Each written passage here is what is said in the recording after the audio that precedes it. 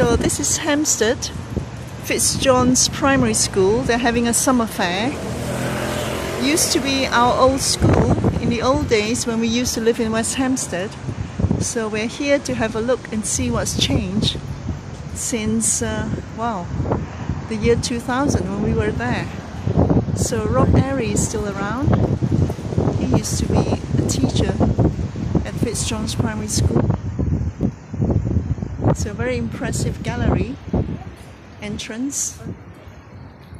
Uh, we used to come here for the summer school, sports and play center and the summer fair. So the secret garden is still here. Fantastic secret garden. Lovely place. Very nice for the kids.